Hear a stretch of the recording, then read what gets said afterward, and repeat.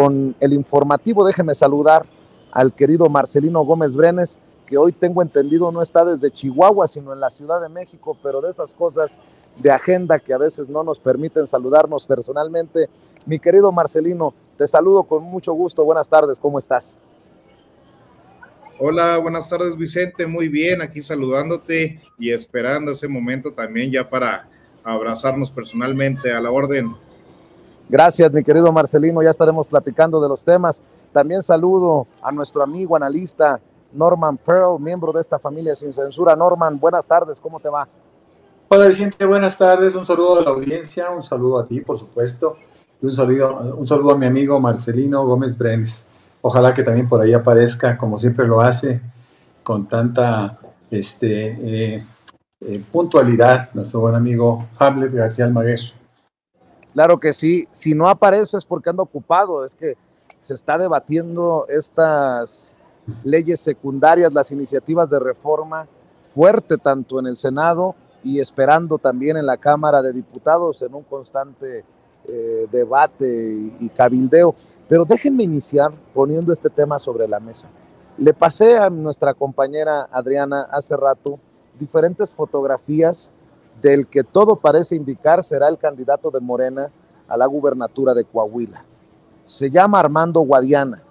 Este personaje al que le levanta la mano Xochitl Galvez, la senadora panista, una de las férreas eh, golpeadoras del presidente Andrés Manuel López Obrador, amigo cercano de Ricardo Monreal. Miren, también muy amigo de Xochitl Galvez, que ha sido invitada a los informes de actividades de Armando Guadiana. En algún momento salió con este pizarrón, Guadiana gobernador en el Senado de la República, Xochitl Galvez, pero también un personaje que ha estado involucrado en el ojo de la polémica. Recuerdo aquel momento en el que el periódico Milenio señalaba que estaba siendo investigado. Debes de tener por ahí otra fotografía, Adriana, de Armando Guadiana, esa.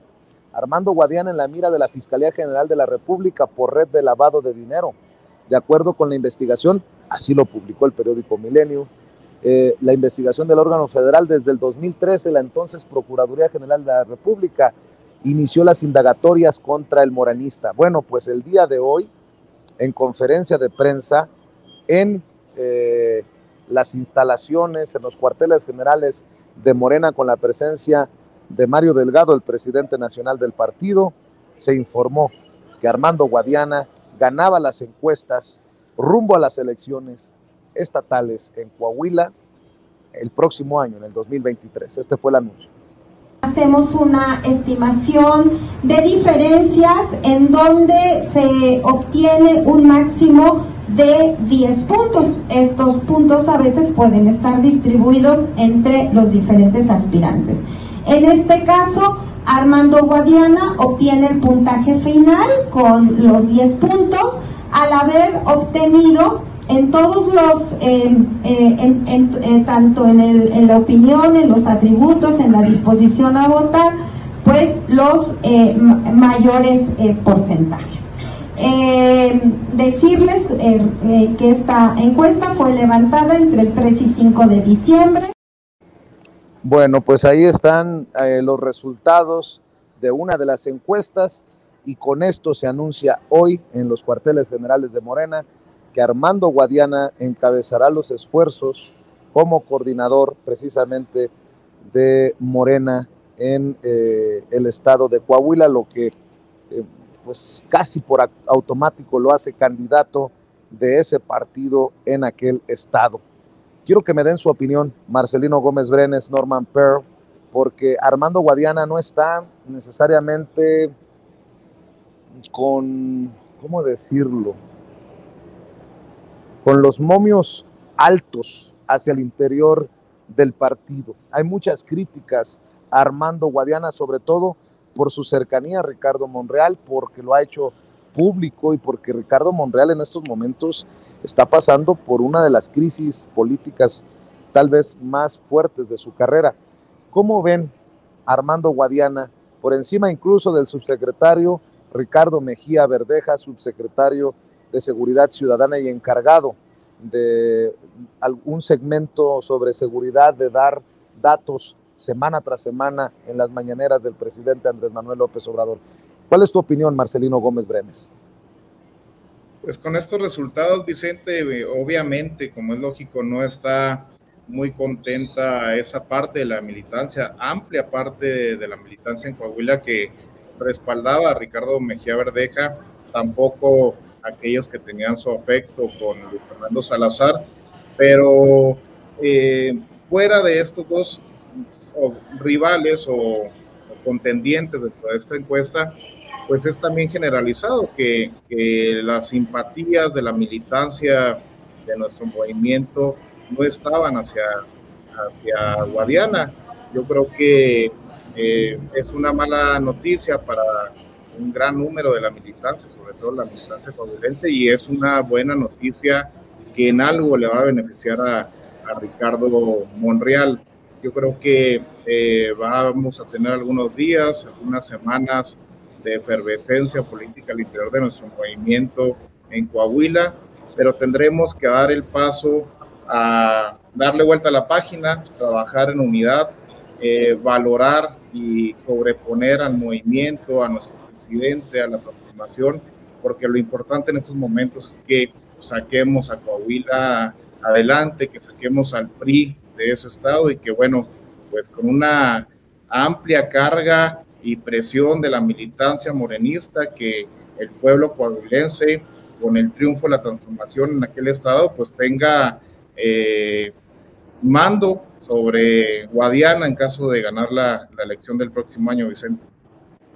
¿Cómo ves tú, eh, Norman Pearl? ¿Se podrá conseguir la unidad de Morena para buscar la alternancia, conseguir la alternancia en Coahuila, en donde ha gobernado por siempre el PRI, con Armando Guadiana encabezando la, la fórmula? Bueno, ese es el costo de la democracia, ¿no?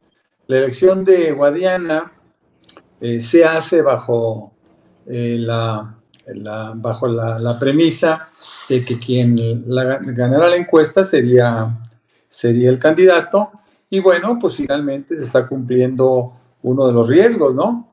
Eh, Guadiana ciertamente no era un candidato muy aceptado por la militancia de Coahuila y por la militancia nacional. Sin embargo, bueno, pues finalmente este, se está satisfaciendo el estatuto, ¿no? Como debe de ser, y, Guadiana tendrá ante sí la posibilidad de trabajar para ganar ese estado que ha sido tradicionalmente priista. Yo creo que tiene grandes posibilidades, hasta donde entiendo, el 50% de la población del estado de Coahuila, eh, por encuestas reiteradas, estarían por votar Morena. De tal suerte que tanto Luis Fernando Salazar como Ricardo Mejía Verdejo, eh, supongo que deberán dar el apoyo, como debe ser en estos casos. ¿no? Finalmente, hay que recordar que una encuesta representa fielmente la, una encuesta aplicada a la población del estado de, Coahuila representa fielmente las expectativas que tiene el partido dentro del Estado. Y bueno, pues eh, ellos decidieron que fuera Guadiana y me parece muy bien que sea Guadiana y que gane Guadiana. Ojalá que una vez que logre este, ganar la, la, gobernatura, se pueda conducir bajo los principios de Morena y, eh, este, y hacer un gran gobierno. ¿no? no hay mucho que se pueda agregar al respecto es el costo de la democracia, es el costo de la encuesta, y bueno, ahí está, Guadiana candidato, ¿no?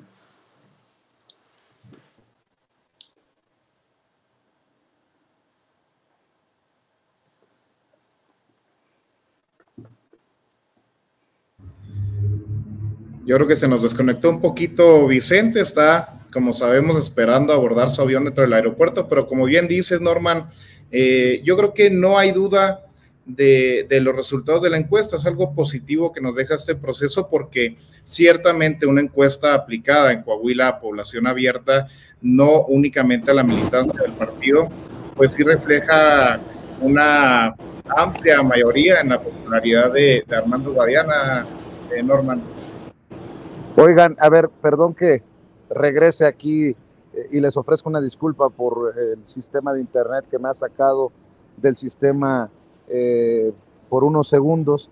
Eh, si me permiten, déjenme pedirle al equipo de producción que rescate las declaraciones del subsecretario Ricardo Mejía Verdeja sobre esta elección de Armando Guadiana eh, como coordinador de los comités de defensa de la 4T en Coahuila, porque me parece un mensaje duro de Ricardo Mejía Verdeja. Y si me permiten, déjenme ver si ya está listo, pero voy contigo, Norman, para seguir escuchando tus opiniones mientras el equipo de producción prepara el video.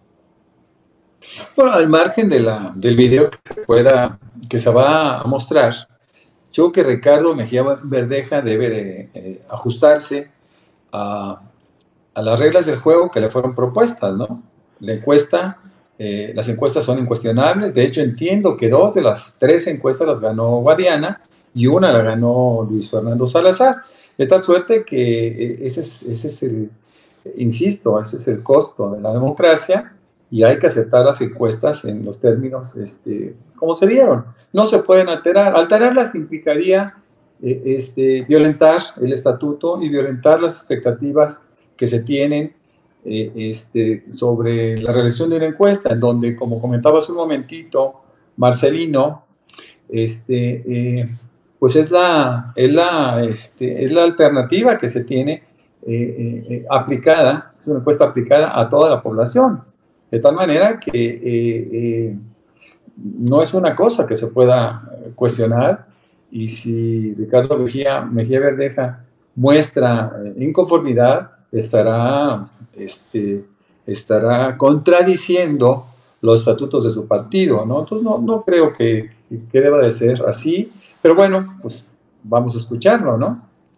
Claro que sí, vamos a ver si ya lo tiene el equipo de producción listo para ver y escuchar lo que dice eh, Ricardo Mejía Verdeja, el subsecretario de Seguridad Ciudadana del Gobierno de la República. Eh, vamos a ver si ya lo tiene Adriana para compartir eh, estas declaraciones de hace unos minutos que hizo en su cuenta oficial de Facebook. Vamos a ver y escuchar al subsecretario Mejía Verdeja. Amigas y amigos de Coahuila, muy buenas noches, me da mucho gusto saludarlos. Como lo comenté hace unos momentos, queremos dar este mensaje para todos los miles y miles de coahuilenses que nos han venido apoyando a lo largo de varias semanas y meses para ser nombrado defensor de la cuarta transformación en Coahuila. En primer término, quiero refrendar mi absoluta lealtad y compromiso que he tenido a lo largo de décadas con el líder nacional, con nuestro presidente Andrés Manuel López Obrador. Reitero mi lealtad, mi compromiso y mi gratitud permanentes. Quiero comentar hoy la reunión que tuvimos en el seno de, de Morena, donde se mostraron una serie de resultados supuestamente que avalan la designación de una persona como defensor de la cuarta transformación. En primer lugar, quiero eh, descalificar tajantemente esos resultados, porque de entrada tengo severas dudas de la manera como se presentaron. Y segundo, los resultados que supuestamente arrojan. En principio, la misma eh, metodología que siguió Moreno para determinar quiénes estábamos en esta última etapa, que era el nivel de conocimiento, yo tuve 46%. Desde luego quiero decirles que yo tengo encuestas serias que nos sitúan entre el 50 y 60% de nivel de conocimiento. Lo paradójico es que en estas que nos entregaron, ahora resulta que tenemos el 26 de conocimiento. O sea que apenas el 26% nos conoce. Y a partir de ahí, la encuesta se empieza. Eh, una persona puede presentar 20 veces como candidato, perder siempre, no generar ningún ánimo social renovado, pero pues la gente se acuerda de que esa persona alguna vez se presentó. Y a partir de ahí, pues todo se sesga en la encuesta. Es una metodología que no toma en cuenta sobre el nivel de conocimiento tus porcentajes, sino que a partir de ese conocimiento eh, te miden contra toda la muestra de tal suerte que la encuesta está totalmente sesgada. Entonces nosotros no reconocemos esa encuesta, lo dijimos en la mesa, no estoy cometiendo ninguna infidencia y desde luego que considero que ese no puede ser el elemento para tomar una decisión de esta naturaleza. Tampoco se tomó en cuenta la opinión del Consejo Estatal de Morena de Coahuila, que determinó el pasado mes de noviembre que cuatro compañeros fuéramos propuestos para este cargo y su servidor obtuvo el 64% de los votos, es decir, 42 de 66 consejeros. Pues nada de eso se, se consideró. Tampoco se consideró la cuestión más elemental y de fondo.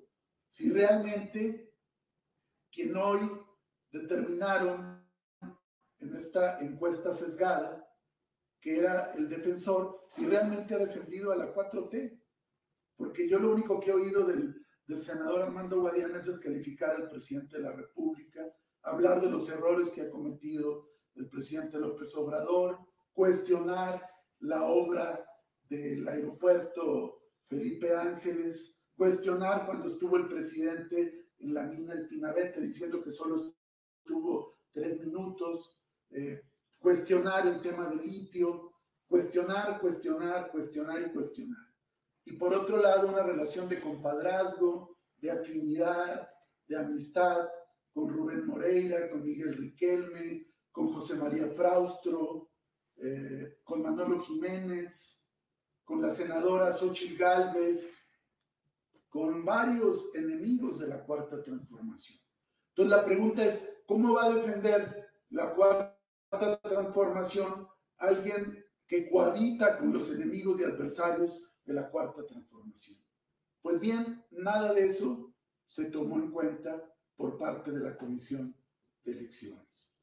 Por esa razón, amigas y amigos de Coahuila, compañeros que nos han seguido a lo largo de estos meses, vamos a hacer valer todas las herramientas políticas a nuestro alcance y les pido que estemos de manera pacífica, de manera responsable, movilizados, actuantes, compartiendo información.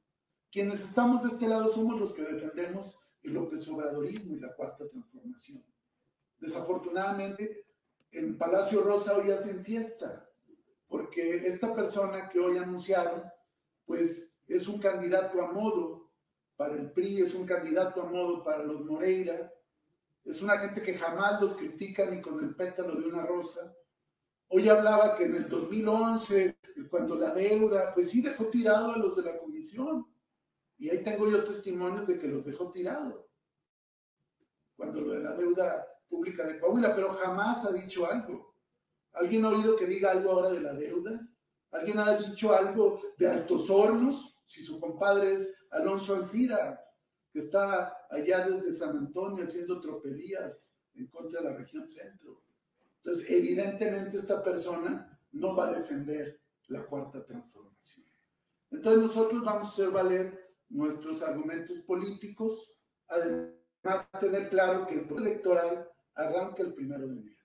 Tiene que haber una convocatoria para elegir candidato. Cuando hay un liderazgo natural, fuerte, congruente, que defiende al presidente, pues sí, el representante de la 4T de manera natural se convierte en el candidato. Pero cuando hay todo este mar de contradicciones y además encuestas que de entrada yo descalifico, porque yo tomé providencias, mandé a hacer una encuesta con una empresa que se llama Muracero, que ha hecho muchas encuestas en el país, tiene un nivel de asertividad impresionante. Ellos levantaron una encuesta de 2.202 entrevistas del 4 al 8 de diciembre. Tiene un nivel de confianza de 97% y aquí exhibimos algunas de las, de las situaciones que, que esta encuesta nos arrojó. Por ejemplo, de los siguientes aspirantes, ¿quién le gustaría que fuera el candidato de Morena y partidos aliados, porque así se preguntó en la encuesta también de Morena. Y el 30.2 dice Ricardo Mejía Verdeja. El 24.2 dijo Armando Guadiana y el 27.3 dijo Luis Fernando Salazar. En cuanto a conocimiento, ¿conoce o ha oído hablar de Ricardo Mejía Verdeja? 53.7% sí, 23.7 no. Sobre Armando Guadiana lo conoce el 58.8 y no lo conoce el 21%. De Luis Fernando Salazar, 52.8 lo conoce, 22, 25.1 eh, no lo conoce. Es decir, este ejercicio se levantó y los números son totalmente distintos a lo que hoy se nos presentó. Por esa razón, yo quiero decirles a mis amigas y amigos que sigamos en la movilización, que sigamos trabajando. De este lado estamos los genuinos defensores de la cuarta transformación, los que defendimos al presidente cuando el gobernador Riquelme llamaba a bloquear la consulta para la revocación de mandato, quienes hemos defendido las grandes transformaciones, quienes hemos defendido las batallas más fuertes, no ahora, sino desde hace décadas, cuando este movimiento vivía las peores horas, las más difíciles horas. Por esa razón les digo que hay opciones, vamos a explorar este método. El proceso electoral arranca el primero de enero. Desconozco esa encuesta porque esa mañana. Sé que el método de encuestas puede ser un referente, pero cuando se hace bien. Y se tiene que medir también otro tipo de elementos, como por ejemplo la movilización que tenemos intensa en todo Coahuila. ¿Cuándo ha convocado Armando Guadiana una marcha como la que hice en Saltillo hace dos domingos de más de 15 mil coahuilenses? ¿Cuándo ha tenido un evento? El señor se la pasaba en, en Qatar mientras otros estábamos dando la lucha y la batalla por Coahuila. Esto no está cerrado. Como en el béisbol, hasta que no caiga el último año. Y también quiero decirles a mis amigas y amigos, dicen en esa encuesta que no me conocen. Entonces yo les pido a cada uno de ustedes en las diferentes plataformas, mensajes, días, que digan, yo sí conozco a Ricardo. Les agradezco, les mando un abrazo y a seguir en la lucha. No podemos permitir que el ingrato corrupto Miguel Riquelme, y Jiménez estén haciendo fiesta y digan que ya tienen la mesa servida. Tampoco podemos ver a Coahuila como un plato de segunda mesa o como un tema menor. Los coahuilenses tenemos historia, la democracia. Ojalá la elección del candidato de Morena al gobernador sea por voto universal y libre como le hacemos para las consultas, para lo de la revocación de mandato, para ver si debe seguir el aeropuerto, para ver tantos temas, lo de los expresidentes. Ese es el método más democrático. Y Coahuila es la cuna del apóstol de la democracia, Francisco y Madero. Sigamos movilizados, con respeto, con civilidad, pero firmes en nuestra batalla. Coahuila tiene mucha historia. Coahuila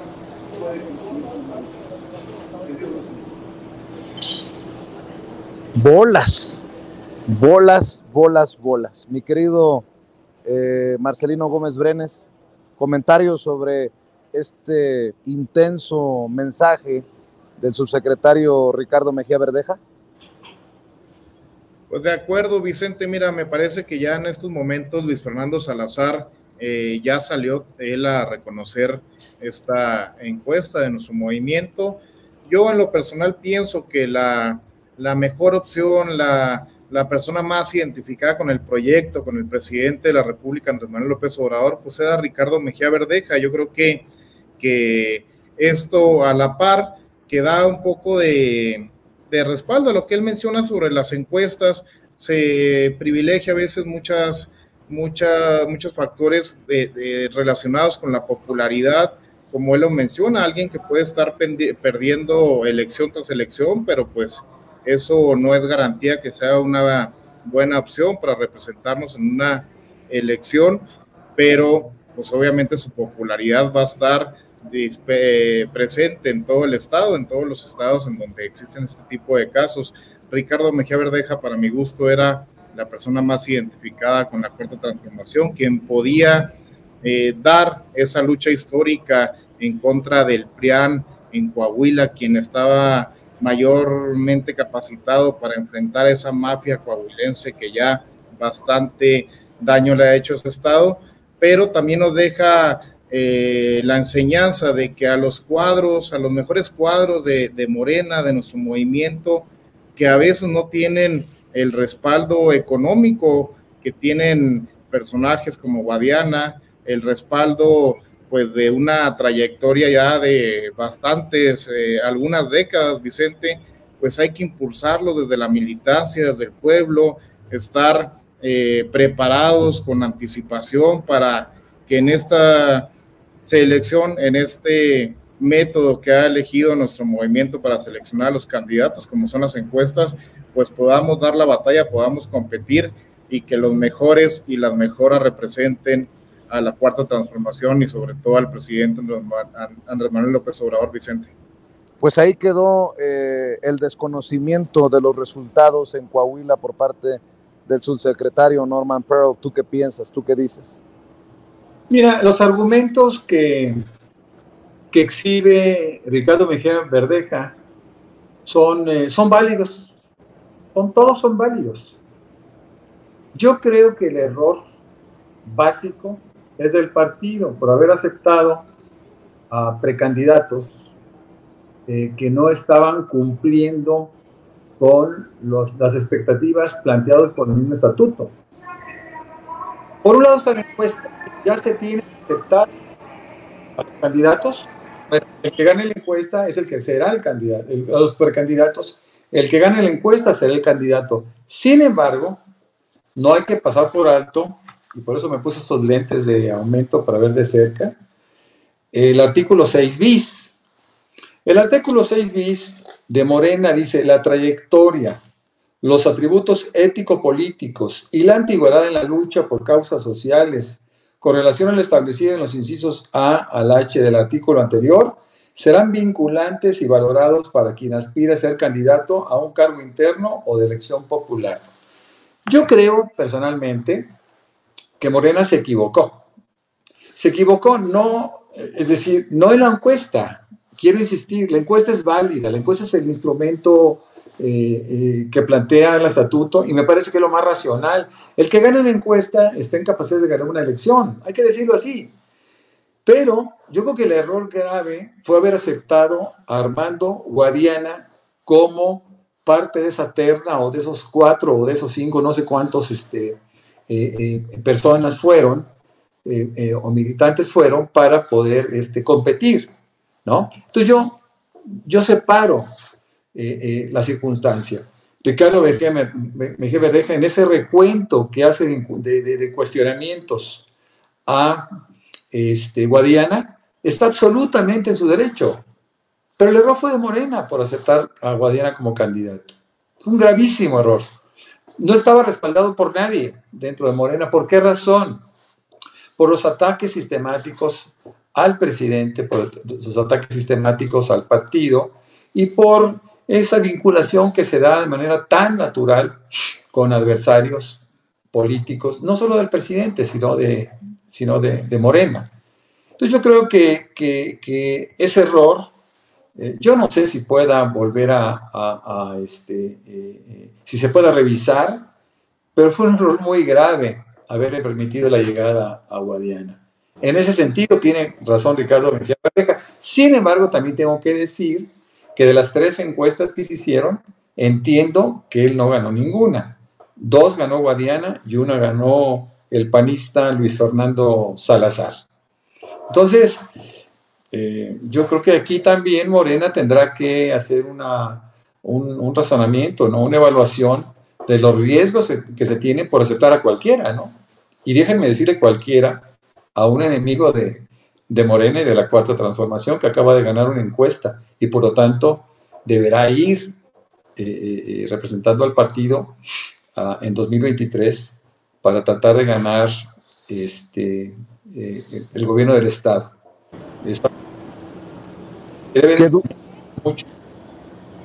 Qué, duro análisis haces, mi querido Norman Pearl, sobre la situación.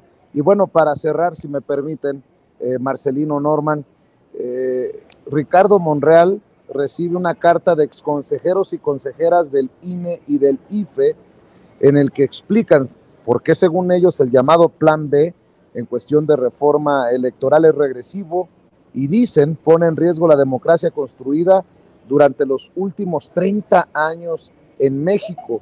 Hace un rato mencionaba que Claudio X González ya está llamando a manifestarse con camisa blanca o rosada mañana en el Senado, me parece un ridículo, como también me parece un ridículo que consejeros y consejeras como Benito Nasif, Jacqueline Pechard, Vigilio Rivera, Pamela San Martín, Luis Carlos Ugalde, Leonardo Valdés y José Waldenberg digan, entre otras cosas, que no habrá garantías si se aprueba el plan B de reforma a las leyes secundarias en materia electoral, no habrá garantías para la celebración de elecciones libres y confiables.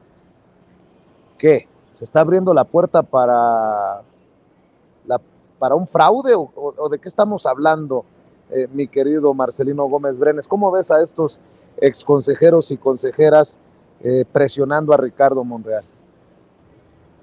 pues no presionando, Vicente, más bien usándolo como, como canal, como vocero o como transporte de estos ataques a la cuarta transformación, a las diputadas y a los diputados de nuestro movimiento, fuera de correr riesgo la democracia, la incipiente democracia que apenas estamos eh, viviendo en nuestro país a partir de, de 2018 y lo que se ha estado trabajando y fortaleciendo, pues es un riesgo que permanezca en el estado en el que está. Ya bastante es que no avanzó la reforma constitucional en donde sí iba a, haber una transformación pues profunda, radical de este Instituto Nacional Electoral, de estos consejeros, estas consejeras que se creen emperatrices, que se creen faraones, que viven como reyesuelos a costa del erario público del pueblo de México, pues bueno, es lo que están tratando de darle la vuelta a la tortilla, de cambiar la narrativa de esta lucha legislativa que con mucho esfuerzo, con mucha dignidad, nuestras diputadas, nuestros diputados están sacando adelante. Vamos a ver ahora el Senado que todo pueda eh, seguir su curso, que puedan alinearse a la cuarta transformación y el presidente de la República y no a Ricardo Monreal, que ya pues hasta premiado salió con la candidatura de en Coahuila de, Guadiana. Entonces vamos a, esperar qué pasan estos días, pero retroceso democrático es lo que ellos han estado haciendo en las últimas décadas, es un atascamiento de la democracia y del progreso y la transformación de nuestro país, que ya el presidente López Obrador pues ha, echado a andar, Vicente. Y de hecho, súmale, mi querido Norman Pearl, para escuchar tus comentarios finales, lo que dice en uno de estos videos que circula en redes continuamente Lorenzo Córdoba Vianelo, el eh, eh, consejero presidente del INE. Las elecciones locales de 2023 en el Estado de México y Coahuila volverán a ser una muestra de lo que México ha logrado en materia electoral, procesos profesionales en los que la ciudadanía puede tener plena confianza en los resultados. No vale la pena perderlo por una reforma mal procesada. Este sí que es un sinicazo, un sinvergüenza, cuando precisamente en el pasado proceso electoral en el Estado de México muchos acusamos del uso electoral de las tarjetas estas del PRI, que ahora son rosas, por cierto, y, bueno, no se dieron cuenta nunca del cochinero que ocurrió en el Estado de México, como lo acusamos nosotros. Ahí se las dejo de tarea. Mi querido Norman Pearl, ¿cómo ves todo este merequetengue? Bueno, pues veo con mucha claridad que los exconsejeros que la oposición sigue pensando que la población mexicana sigue siendo menor de edad y que hay que decirles que a pesar de que el 80% buscaba la reforma electoral, ellos, ese 20% manipulados por el hijo de un empresario y sus partidos, bueno, eh, eh, han sido capaces de tirar una iniciativa. También hay que, hay que decirlo, y hay que decirlo con mucha claridad, no ganaron, eh, no ganaron en votación el, tirar la reforma electoral. Pero se requerían 334 votos y se consiguieron 260 y tantos. De tal manera que gana, si, lo viéramos con, una mayoría simple, ganaría, eh, habría ganado la, la, Morena y la coalición, el PT y el Verde. Pero bueno, en este caso ellos sabían que tenían esa posibilidad de tirar, de hacer daño, de traicionar las expectativas de la población mexicana que, insisto, en un 80% querían que se hiciera la reforma electoral y estos, esta oposición, estos políticos, eh, eh, traicionan la voluntad del pueblo, traicionan por sus, a sus votantes y votan en contra de, los deseos de la población.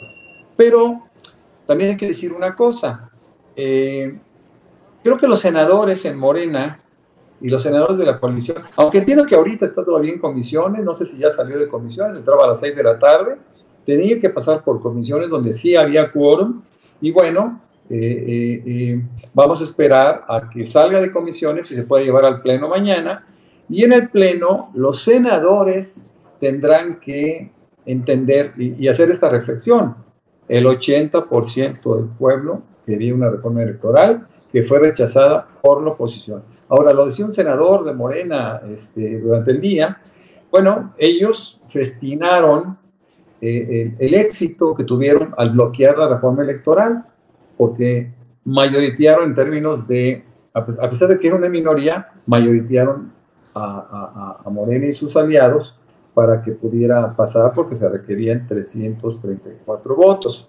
Pero en este caso, eh, Morena y sus senadores, eh, seguramente Ricardo Monreal va a asumir una posición como un demócrata que es, y tendrá que decir, bueno, que cada quien vote de acuerdo a su conciencia, y sobre todo que no olviden de dónde vienen, ¿no? No olviden quién les dio esa posición que ahora ocupan como senadores y estén en capacidad también de entender, eh, insisto, insisto mucho que el pueblo quiere esta reforma electoral. No se consiguió la reforma electoral, pero bueno, va a haber enmiendas este, a leyes secundarias que favorecerán también la democracia, ¿no?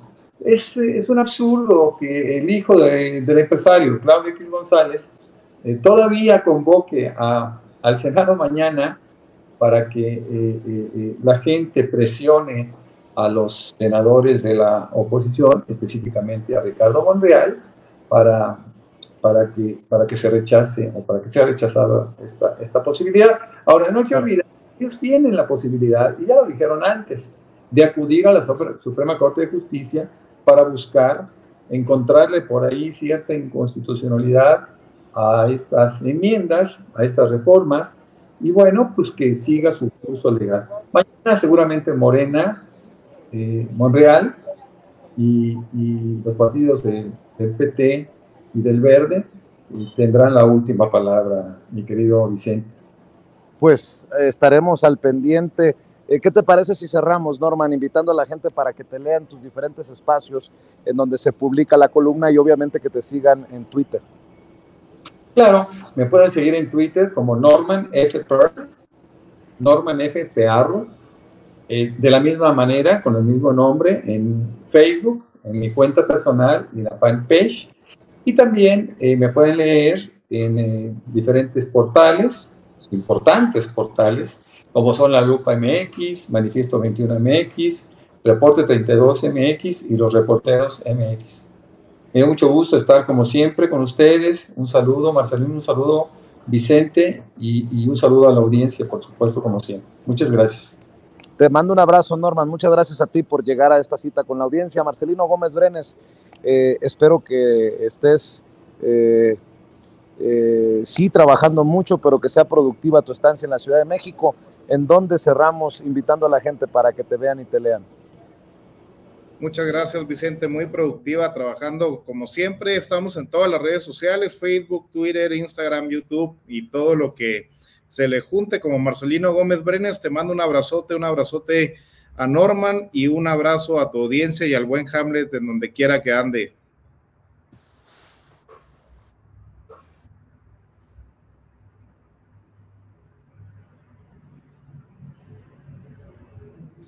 Perdimos un poquito a, Vicente mientras nos despedimos otra vez, Norman. Claro que sí, con muchísimo gusto. Pues bueno, un saludo a la audiencia, un saludo a, a toda la gente que nos hace el favor de seguir, un saludo para ti, Marcelino, para Hamlet, efectivamente, ya sabemos dónde se encuentra, ¿no? Está trabajando en la Cámara de Diputados y bueno, nos despedimos también de nuestro buen amigo Vicente Serrano. Hay que recordarle a la audiencia que Vicente Serrano se encuentra en el aeropuerto de la Ciudad de México esperando a, abordar su, vuelo. Está teniendo un poquito de complicaciones con la señal del Internet dentro de, de las instalaciones del aeropuerto, pero platicamos durante esta mesa, durante este bloque sobre la reciente encuesta presentada por, por Morena, en donde se da como ganador a, Armando Guadiana, senador de la República. Estábamos platicando sobre las inconformidades que hay, tanto de las personas que simpatizaban con Ricardo Mejía Verdeja, los simpatizantes de Luis Fernando Salazar, que no sé si por ahí ya viste, Norman, que, me parece que ya él ya aceptó los resultados de la encuesta. Sí, así es. Parece que eh, Luis Fernando Salazar ya aceptó. Eh, me parece también que eh, García Verdeja finalmente pues tendrá el derecho de ejercer su, su, su derecho de réplica, ¿no? Y este derecho de réplica estará seguramente orientado. Ya estábamos haciendo un resumen del programa, Vicente. Les ofrezco una disculpa, este, esta conexión de internet en el aeropuerto es medio traviesa, pero yo sé que siempre puedo contar con ustedes y les agradezco mucho que me hayan aguantado para regresar, mi querido Norman, mi querido Marcelino. Un abrazote, nos vemos. Pórtese bien, pórtese bien, Marcelino, pórtate bien. Mi querido Norman, te mando un abrazo. Amigos, amigas, regresamos en breve, pero mientras seguimos hablando sin pelos en la lengua, sin censura, usted puede suscribirse a nuestros tres principales canales en YouTube.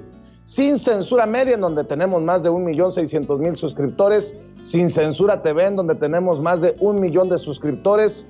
Y en Sin Censura Presenta, en donde queremos llegar muy pronto a los 100.000 suscriptores. Si usted ya está inscrito en Sin Censura Media, suscríbase en Sin Censura TV. Si ya está suscrito en Sin Censura TV y Sin Censura Media, suscríbase a Sin Censura Presenta. Recuerde que es gratis, no tiene que sacar un solo centavo de su bolsillo para apoyarnos. Dele clic en la campanita para que los señores y señoras de YouTube envíen las notificaciones cuando estemos transmitiendo en vivo y en directo o estemos subiendo videos. También nos puede seguir en Twitter en arroba guion bajo Vicente Serrano y hasta en Instagram. Ojo, ¿eh? También estamos en Instagram. Son nuestras redes sociales y con el apoyo de ustedes seguimos creciendo, porque con ustedes todo, sin ustedes nada.